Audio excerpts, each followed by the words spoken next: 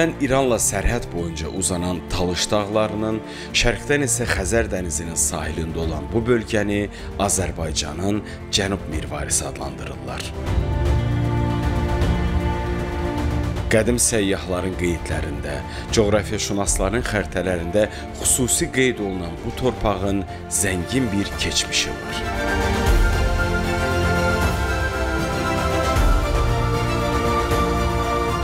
Bu diyar füsunkar və toxunulmaz təbiətə, eramızdan əvvəl mövcud olan əfsanəvi məbədlərə, müasir dünyanın möcüzəsi sayılan abidələrə sahibdir. Azərbaycanın cənub əfsanəsi Astara. Burada bir vaxtlar Xəzər dənizinin suları dağların ətəyindən öpürdü. Burada sular od tutub yana bilir. Dünyanın nadir ağacları da burada yetişir. Rəvayətlər, əfsanələr bu diyarın cazibəsini biraz da artırır. Biz Azərbaycanın cənub qapısı adlandırılan əfsanələr diyarı Astaradayıq. Salam Astara. Astara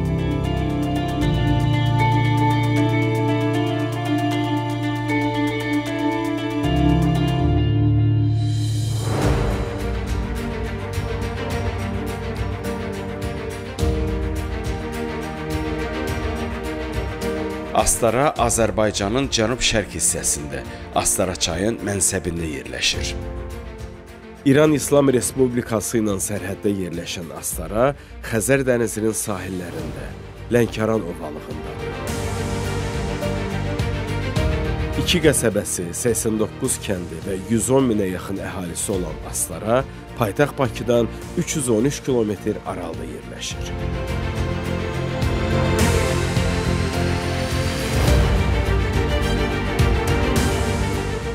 Astaranın iqlimi rütubətlidir.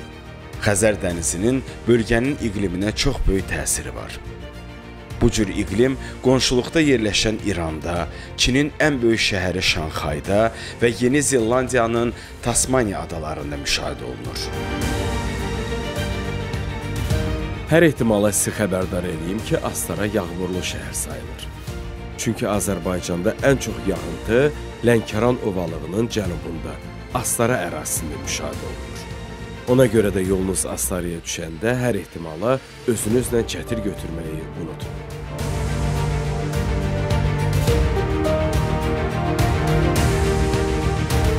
Tarixi faktlar göstərir ki, Astara Azərbaycanın qədim və inkişaf eləmiş məntəqələrindən biri olub.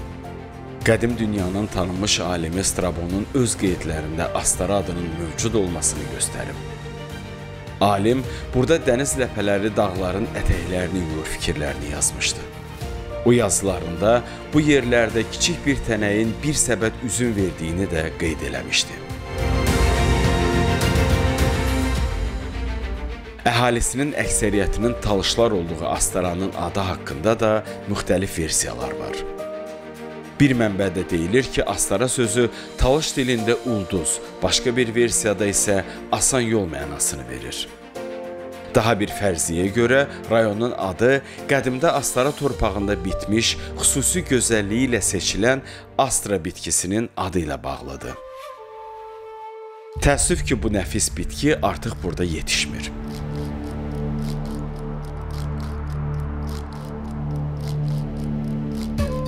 Amma əvəzində Astarada dünyanın nadir ağaclarından olan fil sümü kimi möhkəm dəmir ağac bitir. Hirkan Milli Parkının çox hissəsi Astara rayonundadır.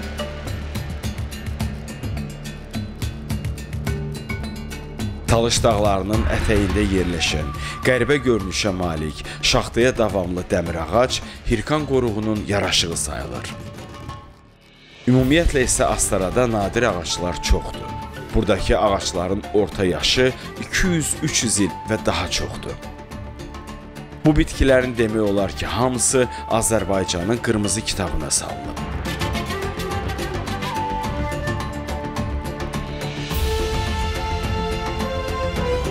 Bu gün Astarada qədim tarixlə müasir həyat harmoniya təşkil edir. Dənizkənarı bulvar Astaranın müasir üzüdür. Burada istər səhər tezdən, istərsə də axşam çağı həyat qaynayır.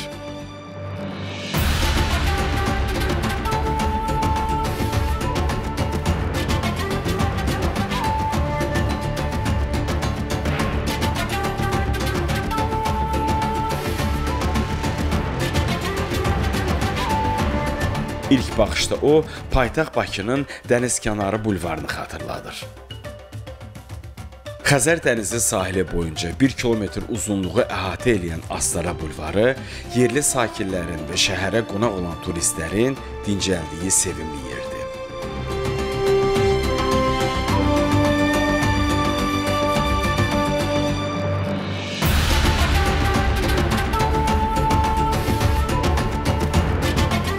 Həm böyüklərin, həm də kiçiklərin istirahəti üçün bulvarda hər şərait var. İstirahət məkanları, attraksionlar, dəniz mənzərəsi olan kafelər, velosiped sürmək üçün yollar və xoş atmosfer. Xəzərin bənzərsiz görüntüsünü bir stəkan yerli Astara çayı içərək seyr eləmək adama zövq verir. Astaranın dəniz kənarı bulvarında günün yorğunluğunu rahat çıxarda bilərsiniz.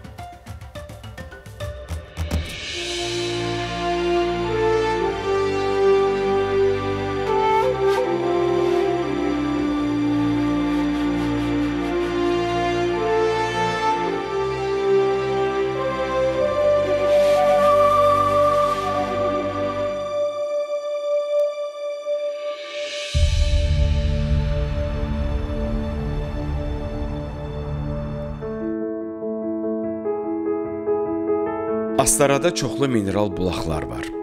Mineral və termal bulaqlar həm də müxtəlif xəstəliklərin dərmanıdır. Belə bulaqlardan biri də Ərkivan kəndindəki bölgənin ən məşhur bulağı Yanar bulaqdır. Yanar bulaq kompleksi Astara rayonunun çoxsaylı nadir geoloji obyektlərindən biridir.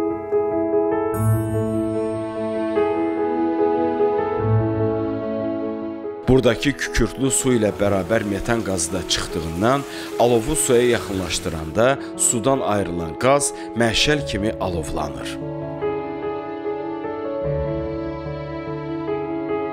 Bu bulağa istər yerli əhali, istərsə də turistlər böyük maraq göstərir. Onu da qeyd edeyim ki, yanar sudan içmək üçün də istifadə etmək mümkündür. Ərkivan kəndi tək məşhur bulaqları ilə deyil, tarixi abidələri və yerli sakinlərin qonaqpərvərliyi ilə də seçilir. O, əsrləri adlayan qədim abidələrin məkanıdır. Kənd Astaranın ən böyük yaşayış məskənlərindən biridir.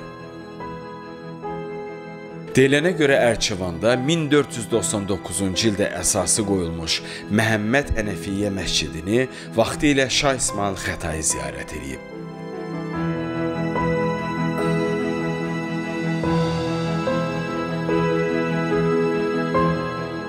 Tarixi mənbələrə görə Şah İsmail Xətai Ərkivan kəndində 9 ay olmuş və məhz buradan yürüşlərə başlamışdı.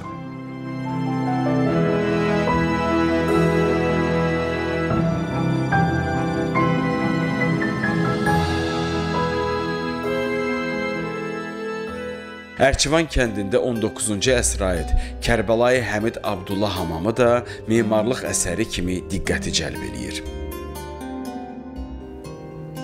200-dən çox yaşı olan 8 günbəzli Astaranın ən böyük hamamı vaxtilə çox məşhur məkan olub. Odunla qızdırılan hamamın xüsusi istilik sistemi var.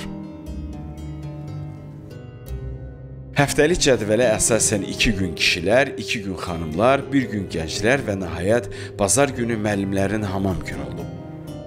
Hörmət və ədəb-ərkan adətlərinə görə müəllimlərə xüsusi gün ayırıblar.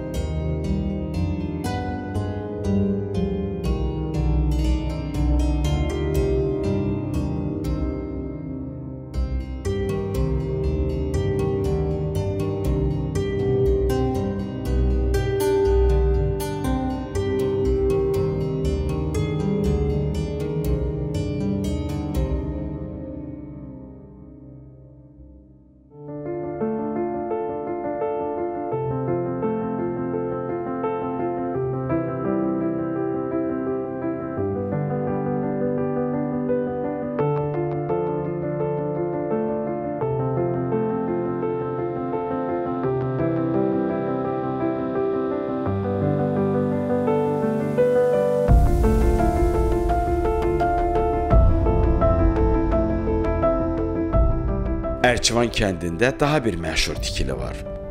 Onun adına Ləm deyirlər.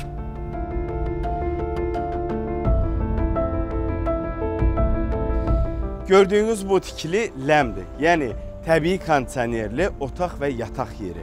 Ləm cənub bölgəsinə xas olan spesifik, orijinal bir tikilidir. Yerli sakinlər may ayından noyabr ayına qədər burada həm yemək yeyir, həm qonaq qəbul eləyir, həm də ki gecələyirlər. El arasında ona yay evi də deyirlər. Bu ləmin özəlliyi həm də ondadır ki, onun 100-dən çox yaşı var.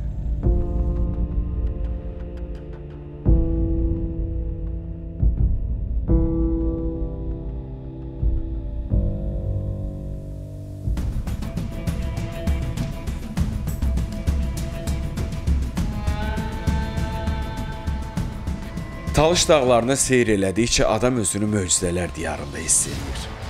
Hamoşam, Toradi, Pəlikəş, Miki, Diqo, Əyyəri, Üləsi, Maşxan, Ağkörpü, Burzuvənd, Sım və dağlara sığınmış digər kəndləri gəzəndə görürsən ki, bu möcüzəli aləm səni sanki ofsunlayır. Astaraya yolunuz düşəndə rayonun bir-birindən gözəl, bir-birindən maraqlı dağ kəndlərinə mütləq qonaq olun. Gözəl təbiət, zəngin tarix və qonaqpərvərlik sizi bu yerlərə məftun eləyəcək.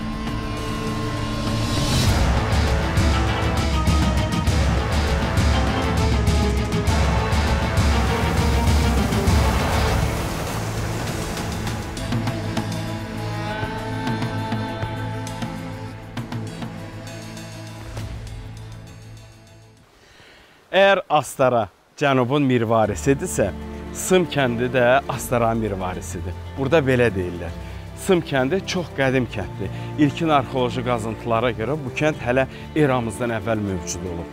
Kəndin gözəl təbiət mənzərəsi, tarixi abidələri, şəlalələri Azərbaycanda dillər əzbəridir. Onu da deyim ki, Sım kəndi Azərbaycanın ən turistik dağ kəndidir. Burada yağış olanda da gözəl olur.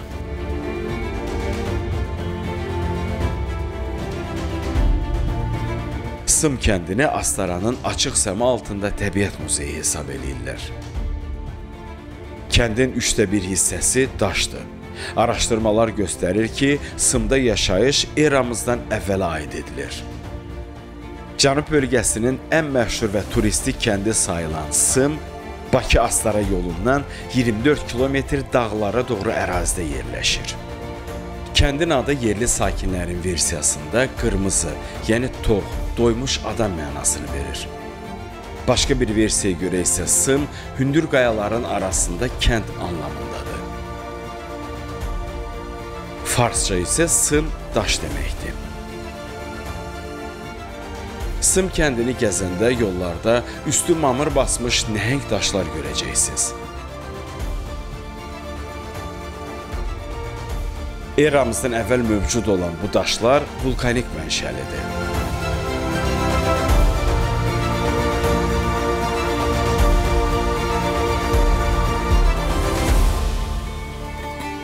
Cennet olur ezel günden Cennet olur ezel günden Xoşağlar kendimizin Xoşağlar kendimizin Sım kəndinin yaraşığı həm də onun adını daşıyan şəlaləsidir. Ömürlerin şefasıdır Ömürlerin şefasıdır İlk bahar kendimizin ilk bahar kendimizin Nəzərə alın ki, kəndin müəyyən hissəsinə qədər maşınla qalxsaz da, şəlaləyə kimi piyada getməli olacaqsınız. Amma yol boyu möcüzəli və maraqlı yerlər sizə bütün yorğunluğunuzu unutduracaq. Gel seyrelesin kendinim Alsın kalbinden gemini Alsın kalbinden gemini Dindir bey ağa yemini Aksakalı kendimizin Aksakalı ay Cadımızda yarım aman ey.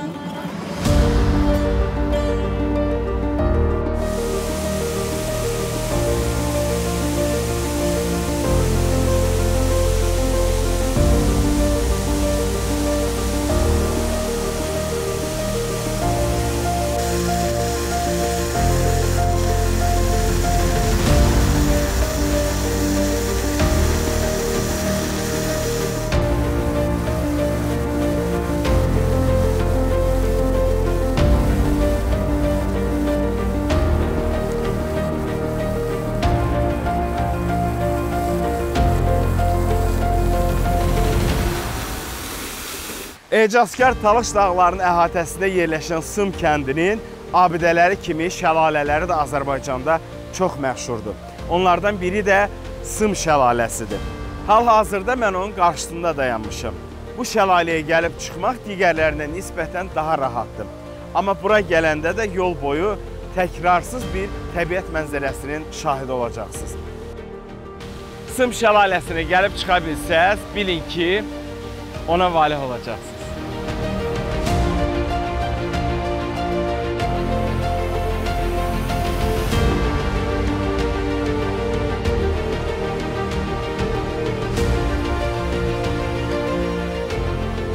Sım kəndində diqqəti çəkən daha 3 şəlalə, 70-ə yaxın bumbuz suyu olan bulaqlar, maraqlı və tarixi yerlər də var. Kəndi əhatə edən meşələrdə isə yaşı minə yaxın müxtəlif növ ağaclar və adı qırmızı kitaba düşən heyvanlar mövcuddur. Ecazkar flora və faunaya malik Sım kəndi həm də səliqəsi ilə seçilir. Qədim sənət olan dəmirçilik isə bəzi kənd sakinlərinin yaşatdığı peşədir. Əgər bu sənətin sirlərini öyrənmək istəsəz, yerli sənətkarlar böyük məmnuniyyətlə sizə yardımcı ola bilərlər.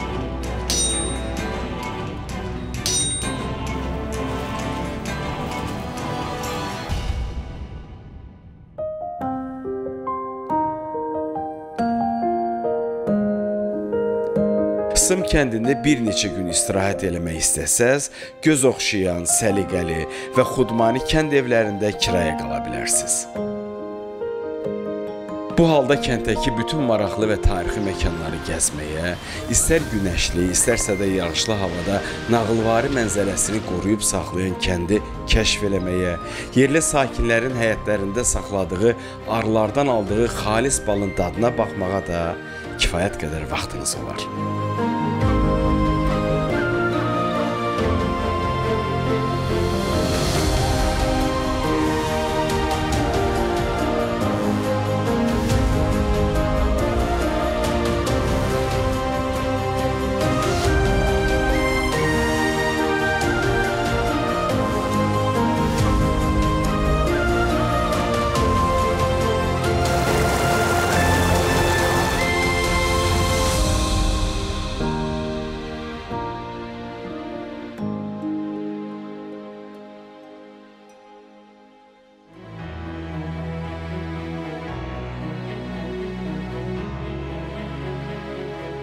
Astaranın rəngbərəng çəmənləri də öz sehri cazibədarlığı ilə insanı valeh eləyir.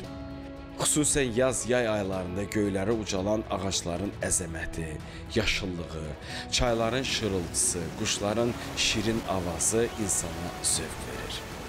Burada sən sanki cənnətdəsən.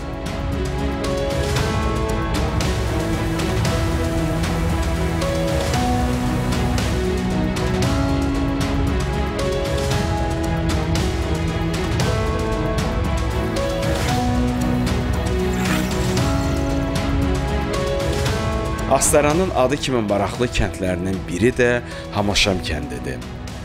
Dağın başında yerləşən kənd təbiət abidələri ilə zəngindir.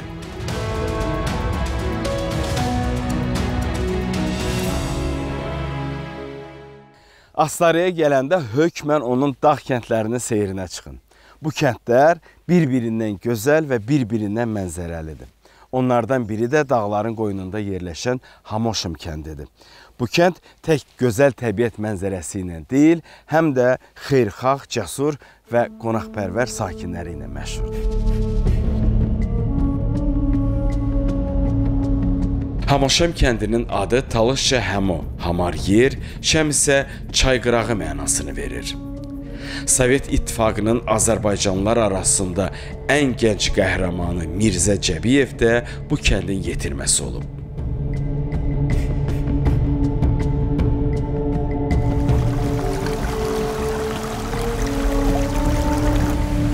Dəniz səviyyəsindən 9200 metr yüksəklikdə yerləşən kəndin tarixi Tunç dövrünə gedib çıxır.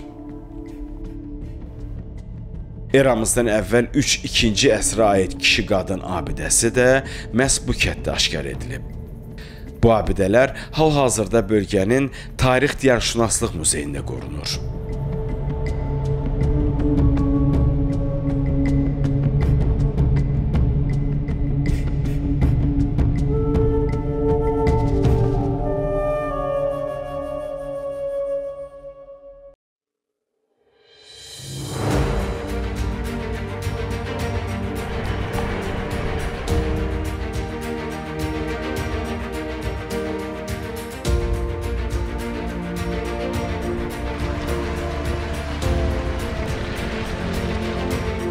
Hamoşəm kəndinə dağların arasından keçərək dolambac və rahat yollarla gedib çıxa bilərsiniz. Bu kəndin xüsusi gözəlliyi var. Bu ərazidə vulkan mənşəli qayalar möcüzəli təbiət mənzərəsi yaradıb.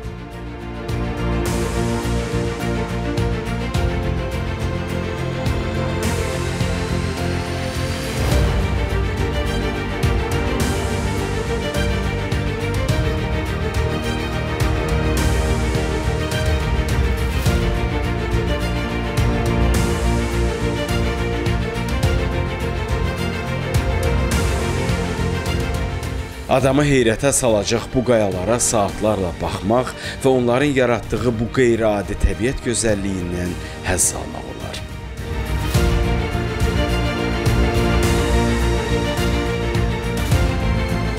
Hamaşəm ərazisində dəniz səviyyəsindən 1600 metr hündürlükdə yerləşən Sepesti Nuh adlanan yerdəki mağarada isə ibtidai insanların yaşadığı güman edilir. Bu mağaraların yaşı hələ də bəlli deyil. Göründüyü kimi burada kəşf olunacaq çox şey var.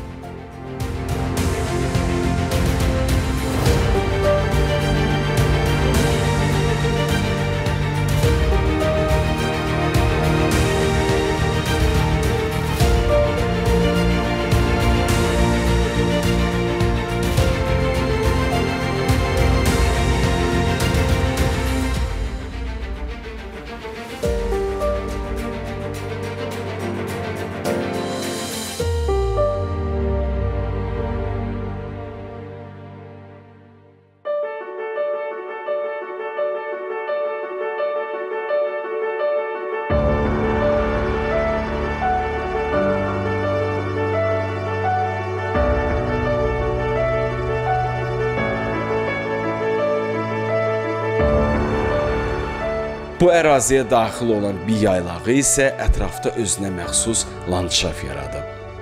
Bir soyuq yer anlamındadır. Bu gözəlliyi seyr elədikcə göz doymur. Adam baxdıqca baxmaq istəyir. Qızmar günəş altında Azərbaycan filminin bir çox səhnələri də bir yaylağında lent alınıb.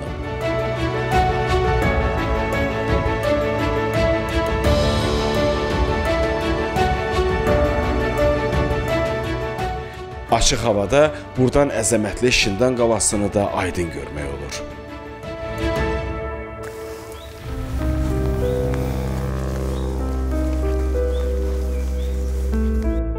Şindan qalasına gedən yolda tarixi hələ bəlli olmayan, albanlara məxsus olduğu təxmin edilən 5 məzarlıq var. Dağın ətəyində, sıx meşəliyin içində qalan qəbirlərin forması və onların üstündə olan naxışları görüb heyrətlənməmək mümkün deyil. Bu məzar daşlarının tarixi, üzərində olan naxışların məzmunu hələ tam kəşf edilməyib.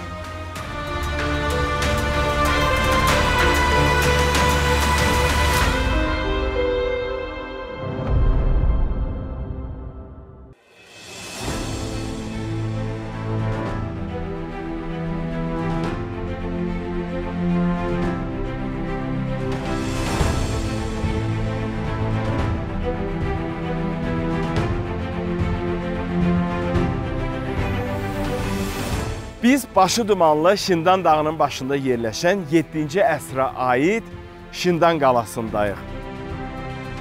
Astara qədim və əzəmətli qalaları ilə öyünə biləcək bir bölgədir. Bu abidələrdə Astaranın qədim tarixi yatır. Hər birinin də öz əfsanəsi və real hekayəsi var. Belə qalalardan biri də 7-ci əsrə aid Şindan qalasıdır. Qala Talış dağları silsiləsindən olan Şindan dağının başında salınıb. Neçə-neçə xanların, şahların, sərkərdələrin sığınacağı olan Şindan qalası indi Astaranın vizit kartıdır. Hündürlüyü 18 metrdən çox olan Şindan qalası dəniz səviyyəsindən 1826 metr yüksəklikdə İran İslam Respublikası ilə sərhəddə yerləşir. Azərbaycanın tarixi əsərlərindən olan mühafizə məqsədi ilə tikilən qala deyilənə görə vaxtı ilə sərkərdə Babəkin strateji obyektlərindən biri olub.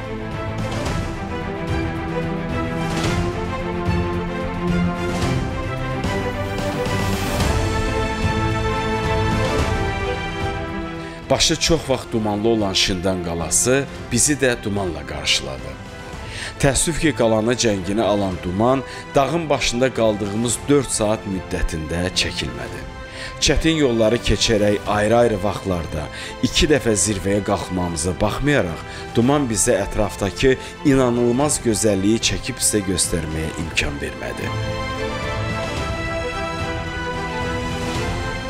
Şindan qalası əzəmətini, ətraf mənzərəsini bizə tam şəkildə göstərmədi və ya göstərmək istəmədi.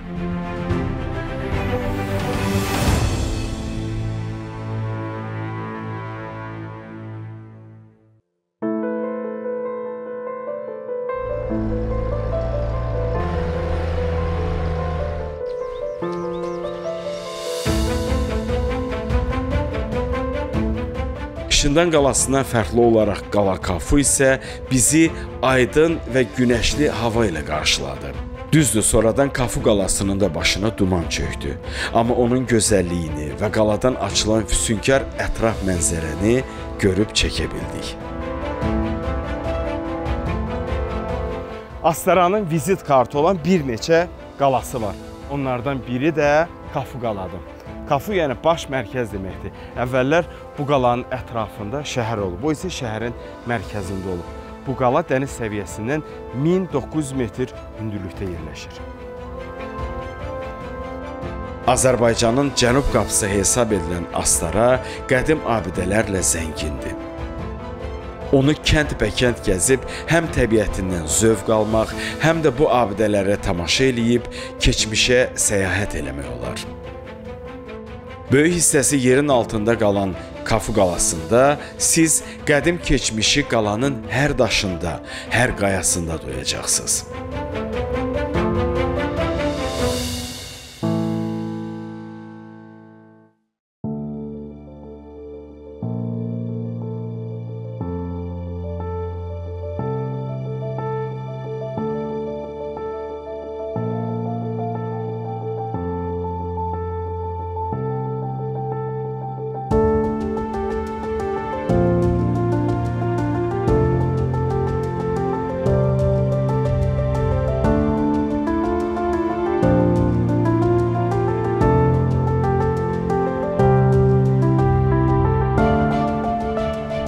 Astarada cürbəcür hündürlükdə və cürbəcür adda şəlalələr var. Onların içərisində ən böyüyü Şi, yaxud Siçr, yəni 30 uçurum şəlaləsidir. Bu şəlalə talış meşələrinin dərinliyində, əlçatmaz bir yerdədir. Şəlaləyə gedən yolda görəcəyiniz Diqo, daha sonra Əyyəri kəndlərinin mənzərəsi göz oxşuyur. Onları əhatə edən nağılvari meşələrin yaşıllığı isə adamı özünə heyran eləyir.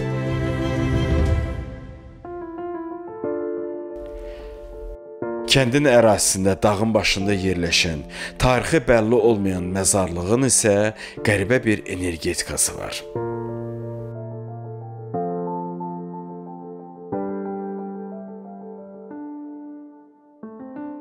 Şiş şəlaləsinə siz yalnız yerli sakinlərin bələdçiliyi ilə gedib çıxa bilərsiniz. Yolu uzun və cəngəlliklərdir.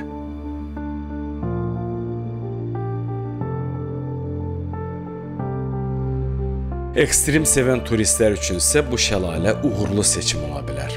Yağışa ya dumana düşsəz narahat olmayın. Peşəkar bələdçilər sizi darda qoymazlar. Şəlaləyə gedən yolda inanılmaz gözəlliyi olan mənzərə ilə rastlaşacaqsınız. Burada təbiət olduğu kimi toxunulmaz qalıb. Yol nə qədər çətin olsa da əvəzində rastınıza çıxacaq gözəlliklər ruhunuzu oxşayacaq. Əmin olun ki, bu səfər ömürlük yaddaşınıza yazılacaq. Bütün bu gözəllikləri seyr elədikcə özünüzü sanki nağıllar aləmində hiss edəcəksiniz.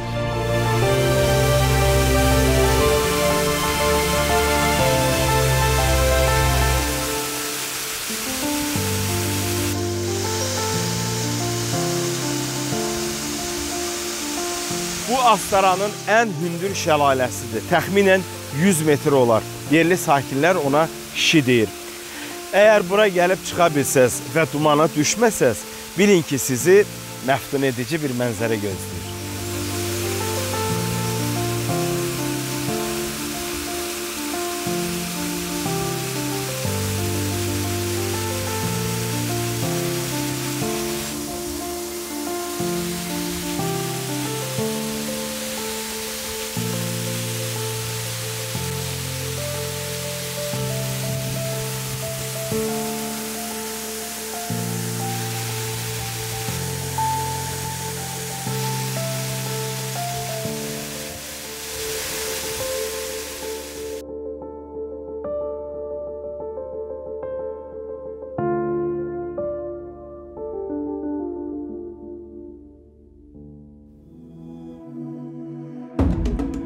Cənub bölgəsində mövcud olan Talış dağlarının Astaranın payına düşən hissəsində meşələrin flora və faunasının zənginliyi və müxtəlifliyi dillər əzbəridir.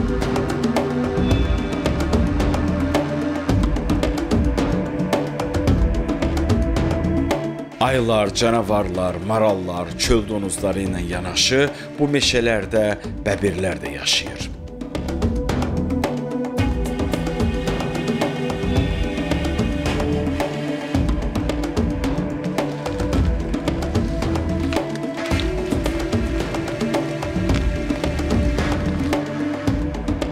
Yerli sakinlərdən az adam olar ki, Talış dağlarının meşələrinə sahiblik eləyən bəbirləri uzaqdan görsün.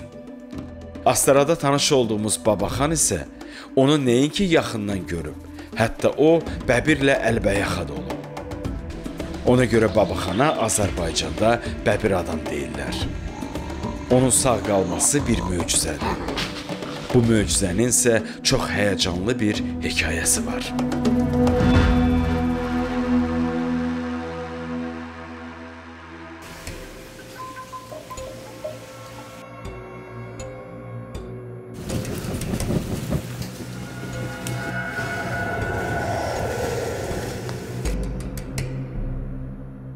91-ci ili fevralın 8-də. Elə bir mən getdim həmin mağara. Biraz onu narahat elədim ki, istədim çıxsın görsün onu. O çıxsın, mən görüm onu. Birdən qəfil çıxdı qarşıma. Tullandı üstümə, taxtından yuxarıdaydım biraz. Tutuşduq. Alnından bir boş tüfənglə vurdum. Yaraladım onu. Bu biraz huşunu itirdi, başladı qısımdan yeməyə. Caynağıyla buradan tutuldu, bax belənçinə izlər burada var. Caynağının izi. Şığıyanda tut, belə hücum çəkir, şığıyırdı. Tullananda onun səsindən, gür səsindən. Tullanır da, yəni atlana-atlana özü üç tullanda sən tutur. Həmin an mən özümü saxlaya bilmədim, yıxıldım bunun belinin üstündə. Belindən tutdum, yellətdim, getdi. Yəni, bu vaxt itirmədim özümü yəni. Saxlaya bilmədim, düşdüm aşağı, orada da yenə elə öz tüfəngimlə albayaxa elə bir ki, itlə çumaqla vuruşarsan. Tap atırıb, tap atırıb, axır ki, bunu getdi ağzına. Taxtından. Bu oldu bu. Oldu, mən də sıxdım, yarı, bunun yarıcan oldu. Başladı qaçmağa. Qaçmaqda bir şey, o nəfəsi getmirdi. Sonra ayrıldınız və o qaçdı. Amma salamat idi də, sağ qaldı. Amma ki, gözlədim, gördüm aşağıdan axır ki, durdu. Bir mənə bir baxdı, dedim, qardaş, sana yaxşı yol. Şiribəri. Mən də mən də yaralayıb sən də bunda bir qisməti, bir nəsə e, amalı olacaq. O belə. Bu əhvalat belə.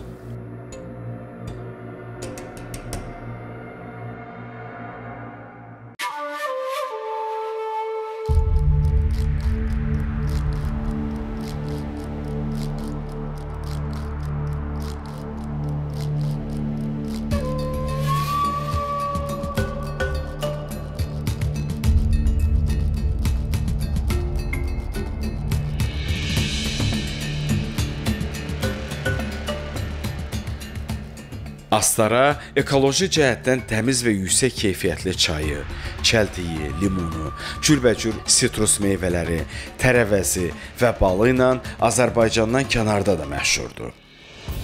Astara çay bölgənin tanınan brendlərindən biridir. Astaranı gəzdikcə yol boyu ucu bucağı olmayan çay plantasiyalarının şahidi olacaqsınız.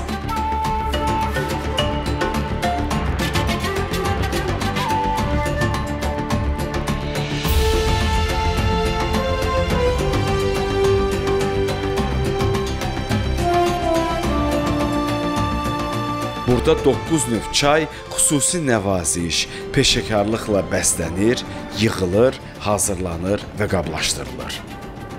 Çaya xüsusi dəyər verən yerli sakinlərin dediyinə görə isə təbii otlarla qarışıq çaylar isə can dərmanıdır.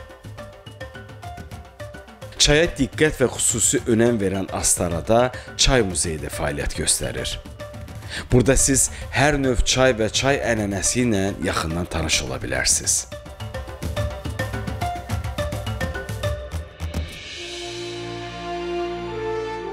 Astarada qonaq olanda mütləq çayın dadına baxın. Astara çayının dadı, rəngi, ətri sizi valeh eləyəcək. Burada yetişdirilən limon isə çaya bir başqa ləzzət qatır.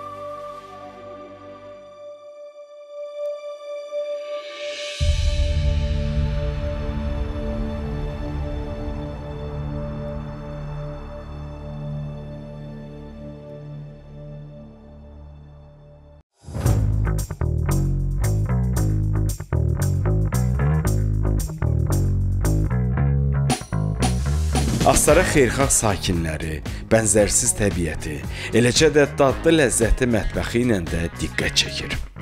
Bu cənub bölgəsinin mətbəxi dadlı təamlarla zəngindir. Astarada düyüdən 21, ətdən 23, çöl və ev quşlarından 7, undan 20, balıqdansa 9 növ xörək bişirilir ki, bunların da hər birinin özünə məxsus dadı var. Astara mətbəxində ləvəngi və onun müxtəlif növləri də məşhurdur.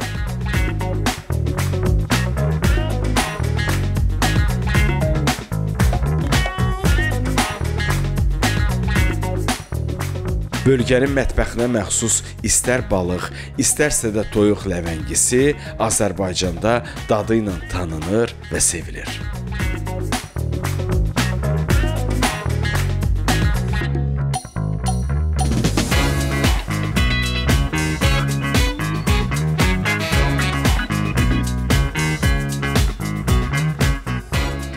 Ləvəngi cənub bölgəsinin mətbəxinə xas olan bir təamdır. Adətən onu hazırlayıb toyuğun ya balığın içinə doldururlar. Astarada hazırlanan ləvənginin dadı isə bir başqadır. İndi dadına baxacağıq.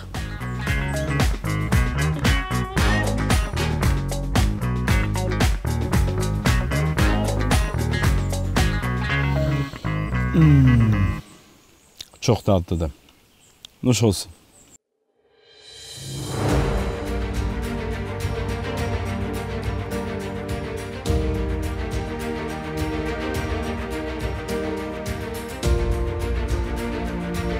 Səyahət eləyəndə gedəcəyiniz bölgənin istər təbiətinin, istər tarixi abidələrinin zənginliyi, sakinlərin isə qonaqpərvərliyi, gülərüz olması vacib amillərdən biridir.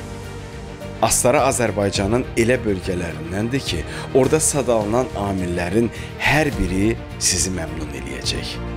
Ekoturizm, dağ turizmi, hətta ekstrem turizmi sevənlər üçün də Astarada çox gözəl şərait var.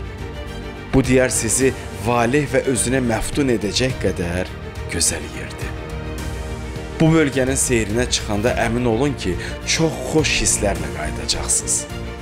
Astara səfərindən aldığınız emosiyalar və xoş təəssürat uzun müddət onu sizə unutturmayacaq. Bu isə uğurlu səfər üçün vacib şərtdir. Astaranın çox böyük turizm imkanları var.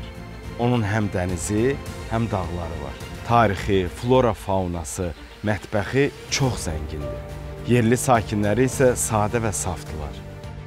Onlar gələn qonağı hörmətlə qarşılayar, sevgi ilə yola salarlar. Onlar ilk baxışda hamı kimidirlər, amma fərqli cəhətləri də var. Bizə görə ədəb erkən çox vacib şərtdir. Biz zəhmətkeş adamlarıq, əlimizin əməyi ilə qazanırıq. Ətirli təbii çayımız var. Bizim ləvəngiyə söz ola bilmədi. Biz bu dağlardan ilham alırıq, Babillər də bu dağların yaraşığıdır. Qapımız həmişə qonaqların üzünə açıqdır. Bizim yaxşı xasiyyətimiz var. Bizim dağ kəndləri möcüzədir. İnsanpərvərik. Biz təbiətə bağlıyıq. Biz xeyirxah, mehriban insanlarıq. Biz tariximizə hörmətlə yanaşırıq. Biz dostluğa inanırıq. Mənim balam, biz qonaqpərvərik. Azərbaycanın cənub mirvarı. Bir tərəfdən Talış dağları, bir tərəfdən Xəzər dənizi Astaranı dünyanın təkrarsız bölgəsinə çevirib. Qədim sivilizasiyaların mərkəzində yerləşən Astara çox zəngin diyardır. Onu tanıdıqca, onu öyrəndikcə ona daha yaxın olmaq istəyirsən. Odur ki, gəlin, görün, tanıyın və Astaranı özünüz üçün kəşf edin.